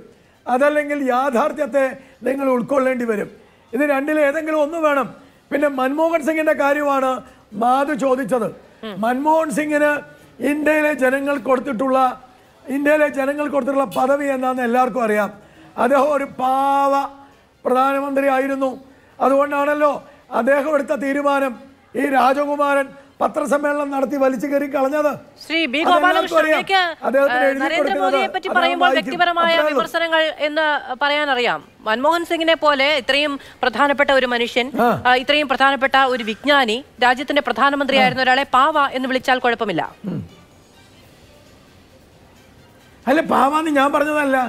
അത് നിങ്ങൾക്ക് അറിയില്ലേ പാവ എന്ന് ഇന്ത്യയിലെ മാധ്യമങ്ങളാണ് പറഞ്ഞത്. മനോരമയും മാതൃഭൂമിയും ഹിന്ദുവും ഇന്ത്യൻ എക്സ്പ്രസും. ആ ഭാഷ ഞാൻ കടമെടുത്തു മാത്രമേ ഉള്ളൂ. അത് നിങ്ങൾ തെറ്റാണെങ്കിൽ ഞാൻ പിൻവലിക്കാം. മൻമോഹൻ സിംഗ് ഒരു പാവയാണ് എന്നൊരു പരാമർശം. മൻമോഹൻ സിംഗ് ഒരു പാവയാണ് എന്നൊരു പരാമർശം ഉണ്ടായതായി എനിക്കറിവില്ല. എനിക്കറിവില്ല അങ്ങേക്ക് അറിവുണ്ടെങ്കിൽ അങ്ങ് പറയണം. എന്നാ ഞാൻ നിങ്ങൾക്കറിയാത്ത പല കാര്യമുണ്ട്. അല്ല എനിക്കറിയാത്ത പല കാര്യങ്ങളുണ്ടാവും. ഈ കാര്യം എനിക്കറിയില്ല. എനിക്കറിയാത്ത പല കാര്യങ്ങളുണ്ടാവും. ഈ കാര്യം എനിക്കറിയില്ല. അങ്ങേക്ക് അറിയാമെങ്കിൽ അങ്ങത് പറയണം അങ്ങത് കാണിച്ചു തരണം. അങ്ങനെ ഒരു പരാമർശം നടത്തിയിട്ടുണ്ടെങ്കിൽ? ഞാൻ പറഞ്ഞല്ലോ. നിങ്ങൾ പറഞ്ഞ പോരല്ലോ. നിങ്ങൾ നേരത്തെ പറഞ്ഞല്ലോ. രണ്ട് നിങ്ങൾ നേരത്തെ പറഞ്ഞല്ലോ രണ്ടായിരത്തി പതിനാലിൽ ഈ പ്രധാനമന്ത്രി ആയിരുന്നില്ല നരേന്ദ്രമോദി. അന്ന് അദ്ദേഹം ധ്യാനത്തിന് പോയത് അറിയില്ല എന്ന് അദ്ദേഹം പ്രതാപ് കെട്ടില്ല പോയത് മഹാരാഷ്ട്രയിൽ അതൊക്കെ ഇവിടുത്തെ എല്ലാ യൂട്യൂബ് ചാനലുകളിലും വരെ ഇപ്പോൾ ഉണ്ട്. അത് നിങ്ങൾ അറിയാത്തത് എന്റെ അഡ്വക്കേറ്റ് ബി ഗോപാലകൃഷ്ണൻ പ്രശ്നമുള്ളത് അഡ്വക്കേറ്റ് ബി ഗോപാലകൃഷ്ണൻ ഈ പത്ത് വർഷം രാജ്യം ഭരിച്ചതിന് ശേഷം പ്രധാനമന്ത്രിയായി പോകുന്നതും ഒരു തിരഞ്ഞെടുപ്പിൽ ജയിച്ചു കയറി വരുന്ന ഒരാളുടെയും രണ്ടു തരത്തിലുള്ള രാഷ്ട്രീയ പ്രൊഫൈലാണ്. അവർക്ക് രണ്ടുപേർക്കും കിട്ടുന്ന പ്രാധാന്യം രണ്ടാണ്. ദേശീയ മാധ്യമങ്ങൾ ദേശീയ വാർത്താ ഏജൻസികൾ ഇതുപോലെ ഊഴമിട്ടിരുന്ന് ഈ യൂട്യൂബ് ചാനലൊക്കെ അവിടെ നിൽക്കട്ടെ ഊഴമിട്ടിരുന്ന് പല ആംഗിളുകൾ റെക്കോർഡ് ചെയ്ത് നാട്ടുകാരെ മുഴുവൻ കാണിക്കുന്നില്ല. അപ്പൊ അത് അവനവന്റെ ഒരു രാഷ്ട്രീയ ബോധ്യവും ധാർമ്മികതയിൽ നിന്ന് ഉണ്ടാകേണ്ട തീരുമാനവുമാണ് അങ്ങനെ വേണ്ടതുണ്ടോ എന്നുള്ളത്. പിന്നെ ഈ ധ്യാനം ക്യാമറ വെച്ചാണ് ധ്യാനം. ഏ, ഇപ്പൊ ഈ പറയുന്ന തീരുമാനങ്ങളിൽ ഈ പറയുന്ന നടപടികളിൽ ഈ പറയുന്ന പ്രോസസ്സുകളിലൊന്നും പ്രധാനമന്ത്രിയുടെ ഓഫീസിന് ഒരു പങ്കുമില്ല എന്നുള്ളതാണോ? പ്രധാനമന്ത്രിയുടെ ഓഫീസിന് അദ്ദേഹം ധ്യാനം ഇരിക്കുന്ന മുറിക്ക് പുറത്തെ മതി ഈ പറയുന്ന ദൃശ്യവൽക്കരണം എന്ന് വേണമെങ്കിൽ പറയാലോ? അപ്പോ എന്നെ കാണണം എന്നൊരു തീരുമാനം അവിടെ നിന്ന് എടുക്കപ്പെടുന്നുണ്ട് അല്ലേ? ഞാൻ നേരത്തെ പറഞ്ഞ മലയാള ഭാഷ നിങ്ങൾക്ക് മനയാ മനസ്സിലാവാതെ പോയത് എന്റെ കുഴപ്പമല്ലെന്ന് രണ്ടായിരത്തി പതിനാലിൽ നരേന്ദ്രമോദി ഇരുന്നപ്പോൾ ആരും അറിഞ്ഞില്ല. നിങ്ങളും അറിഞ്ഞില്ല. കാരണം അന്ന് പ്രധാനമന്ത്രിയല്ല. ഇന്ന് പ്രധാനമന്ത്രിയാണ്. അപ്പോൾ ലോകമറിയും. അത് നാട്ടുകാരുടെ ചെലവിലാണ് പോയിരിക്കുന്നത് എന്ന് പറയുന്നത് എന്ത് മണ്ടത്തരമാണ്? അത് ഒന്നാം നാട്ടുകാരുടെ ചെലവ് എന്നുള്ളത് കോൺഗ്രസ് പറഞ്ഞ ആരോപണമാണ്. അദ്ദേഹത്തിന്? രാഷ്ട്രീയമായത് ഉന്നയിക്കാം. ബി. ഗോപാലകൃഷ്ണൻ ഞാൻ ചോദിച്ചത് ഞാൻ ചോദിച്ചത് രണ്ടായിരത്തി പതിനാലിൽ ദേശീയ മാധ്യമങ്ങൾ ഇങ്ങനെ ഊഴമിട്ട് റെക്കോർഡ് ചെയ്ത് നാട്ടുകാരെ കാണിച്ചിട്ടില്ല. ഈ പറയുന്ന സമയത്തും ധ്യാനം ഇരിക്കുന്ന മുറയ്ക്ക് മുറിക്ക് പുറത്തു മതി ക്യാമറ എന്ന തീരുമാനം പ്രധാനമന്ത്രിയുടെ ഓഫീസ് എടുക്കാത്തത് എന്താണ്? എന്റെ മാധു നാളെ മാധു പ്രധാനമന്ത്രി ആയിക്കോ. അപ്പോഴും ഈ ചാനലുകളും ഇവരെല്ലാരും വരും. അല്ല വരുമെന്നേ. അപ്പോ ഞാനാണ് തീരുമാനിക്കേണ്ടത്. എന്റേത് ഏകാഗ്രമായ ധ്യാനമായിരിക്കണമോ? അവിടെ മറ്റുള്ളവർ കടന്നു വരണമോ? ആ ദൃശ്യങ്ങൾ ഇങ്ങനെ കണ്ടുകൊണ്ടേ ഇരിക്കണോ ആ ക്യാമറയുടെ ലൈറ്റ് എന്റെ മുഖത്തടിക്കണമോ? എന്നൊക്കെ നമ്മളാണ് തീരുമാനിക്കേണ്ടത് അല്ലേ? അല്ല അല്ല? നിങ്ങൾ അങ്ങനെ വല്ലാതെ പ്രധാനമന്ത്രി തീരുമാനിക്കൂ. പ്രധാന അല്ലല്ല ഞാനൊരു കാര്യം ചോദിക്കട്ടെ? നിങ്ങളോട് തിരിച്ച്. ഇത് രണ്ടു മൂന്ന് പ്രാവശ്യം പറഞ്ഞതാ. ഗുഹയിൽ പോയിട്ടായിരുന്നു കഴിഞ്ഞ പ്രാവശ്യം. ഗുഹയിൽ പോയിട്ട്. ആ ഗുഹയിൽ പോയിട്ട് ഉള്ളിൽ യാതൊരു ക്യാമറ ഉണ്ടായിരുന്നില്ല. അന്നും നിങ്ങൾ ഈ പറഞ്ഞത് ഇത് തന്നെയാണ്. വിവേകാനന്ദ? ചെന്നാലും കാണാം. ലോകം നരേന്ദ്രമോദി ഒന്ന് ദേവിയെ ദേവി ഇത് എന്നെ പറയാൻ അനുവദിക്കൂ. നരേന്ദ്രമോദി സ്വന്തം വീട്ടിൽ പോയി മൗനമൃതാലും ലോകം കാണും. അത് അദ്ദേഹം പ്രധാനമന്ത്രി ആയതുകൊണ്ടാണെന്ന്. നാളെ മാധു പ്രധാനമന്ത്രി ആയാലും ഇത് കാണും. അവിടെ ഒരു പേഴ്സണൽ ചോയ്സ് ഉണ്ട് ഞാൻ നേരത്തെ പറഞ്ഞ മലയാളം അങ്ങേക്ക് മനസ്സിലാകുന്നില്ലേ. അവിടെ ഒരു പേഴ്സണൽ ചോയ്സ് ഉണ്ട്? എന്റെ ബെഡ്റൂമിലേക്ക് അല്ലെങ്കിൽ എന്റെ ഏറ്റവും. പേഴ്സണലായ സ്പേസിലേക്ക് ഞാൻ ധ്യാനം ഇരിക്കുന്ന ഏറ്റവും പേഴ്സണലായ സ്പേസിലേക്ക് ക്യാമറ കടന്നു വരണമോ എന്ന് തീരുമാനിക്കുന്നത് ഞാനല്ലേ? നിങ്ങൾ എന്തിനാ അസൂയ? ക്യാമറയിൽ കാണട്ടെ നിങ്ങൾക്ക് എന്താ വിഷമോ? ആ അല്ല ക്യാമറ കാണട്ടെ എന്ന തീരുമാനം അവിടെ ഉള്ളപ്പോഴാണ്? അഡ്വക്കേറ്റ് ബി ഗോപാലകൃഷ്ണ ഗോപാലകൃഷ്ണൻ തെരഞ്ഞെടുപ്പിന്റെ അല്ല, എന്റെ ഞാൻ അസൂയ അവിടെ ചോദിക്കട്ടെ. നിൽക്കട്ടെ? ഞാൻ അദ്ദേഹത്തിനെതിരെ മത്സരിക്കുന്നില്ല. അതവിടെ നിൽക്കട്ടെ. അല്ല, പ്രതിപക്ഷം പരാതി ഉന്നയിക്കുന്നത് എന്റെ അസൂയ അല്ല. Advocate B Gopalakrishnan. ഈ നാട്ടിലെ പ്രതിപക്ഷത്തിന് ഇതിലൊരു ഫെയർ പ്ലേ ഗ്രൗണ്ട് ഇല്ല. എന്നൊരു എന്നൊരു വിമർശനം ഉണ്ടെന്നേ എന്നൊരു വിമർശനമുണ്ട്. അത് ഈ നിശബ്ദ പ്രചാരണത്തിന്റെ ഞാനൊരു സമയത്ത് നേരത്തെ രണ്ടു തവണ പറഞ്ഞതുപോലെ ഏറ്റവും ലൗഡായ പ്രചാരണം ദൃശ്യങ്ങൾ കാണുന്നത് കൊണ്ടാണ്. അവിടെയാണ് ഞാൻ ചോദിക്കുന്നത് പ്രധാനമന്ത്രിയുടെ ഓഫീസിന് അതിലൊരു തീരുമാനമില്ലേ? അദ്ദേഹം ധ്യാന ധ്യാന നിമഗ്നനായിരിക്കട്ടെ. അദ്ദേഹത്തെ മറ്റാരും ശല്യപ്പെടുത്തരുത് എന്നൊരു തീരുമാനം അദ്ദേഹത്തിന് എടുക്കാൻ കഴിയില്ലേ? ക്യാമറ വേണ്ട എന്ന തീരുമാനം എടുക്കാൻ പ്രതിബദ്ധമായിരിക്കുന്നത് എന്താണ്? നിങ്ങൾ എന്ത് വിഡ്ഢിത്തരായി വിളിച്ചു പറയുന്നത്? പ്രചരണം ഞാൻ അങ്ങേക്ക് തോന്നുകയാണെങ്കിൽ അങ്ങ് പറയുന്നത് അങ്ങനെയാണ് എന്ന് തീരുമാനം എന്ന് എനിക്കും തോന്നാം. ഞാനെന്ന് നിങ്ങൾക്ക് തോന്നിക്കോ പക്ഷെ എന്നെ പറയാൻ അനുവദിച്ചാൽ മതി അതായത് ഒരു പൊതു തെരഞ്ഞെടുപ്പിന്റെ പ്രചരണം അവസാനിപ്പിച്ചു കഴിഞ്ഞാൽ പിന്നെ ആളുകളൊക്കെ ഇരുട്ടത്ത് പോയിരിക്കണമെന്നാണോ നിങ്ങൾ പറയുന്നത്? നരേന്ദ്രമോദി മൗനത്തിലിരിക്കാൻ പാടില്ല. നരേന്ദ്രമോദി മൗനത്തിലിരിക്കുന്നത് കാണിക്കാൻ പാടില്ല. നരേന്ദ്രമോദി മൗനത്തിലിരിക്കുന്നത് ജനങ്ങൾ അറിയാൻ പാടില്ല. ഇതെന്തും മര്യാദകളാണ് അതെവിടെയാണ് എഴുതി വച്ചിരിക്കുന്നത്? അത് ആരോടാ പറയേണ്ടത്? നിങ്ങൾക്ക് സൗകര്യമുള്ള പോലെ ചെയ്യാം. അത് നരേന്ദ്രമോദിക്കും ചെയ്യാം രാഹുൽ ഗാന്ധിക്കും ചെയ്യാം. രാഹുൽ ഗാന്ധി ചെയ്യുമ്പോൾ എതിർപ്പും നരേന്ദ്രമോദി ചെയ്യുമ്പോൾ അനുകൂലിക്കുകയും ചെയ്താൽ നിങ്ങൾ ഈ പറഞ്ഞതിന് അർത്ഥമുണ്ട്. നരേന്ദ്രമോദിയെ വെളിയിൽ കാണാൻ പാടില്ല. നിങ്ങളുടെ. രാജ്യത്തിലെ പ്രധാനമന്ത്രി നാട്ടുകാർ കാണാൻ പാടില്ല എന്ന് അതാണ് വാശി പിടിക്കാൻ മാത്രം മൗഢ്യമൊന്നും നിങ്ങളുടെ ഇവിടെ ആർക്കും ഇല്ല. അത്തരം മൗഢ്യമൊന്നും ഇവിടെ അത് അത് രാഷ്ട്രീയ ധ്യാനമാണ് എന്നൊരു വിമർശനം ആ പ്രതിപക്ഷം മൗഢ്യം ഉന്നയിക്കുമ്പോൾ അതിന്റെ സാധ്യതകളെ ആ വിമർശനത്തിന്റെ. കാതലിനെ ബി ജെ പിയുടെ പ്രതിനിധിയോട് ചോദിച്ചു എന്നേ ഉള്ളൂ. അത് അസൂയാണ് അത് അത്തരം വികാരങ്ങളാണ് എന്നൊക്കെ പറയുന്നത്. ആ കാഴ്ചപ്പാടിന്റെ കുറവ് കൊണ്ടാണ്. ഇടവേള.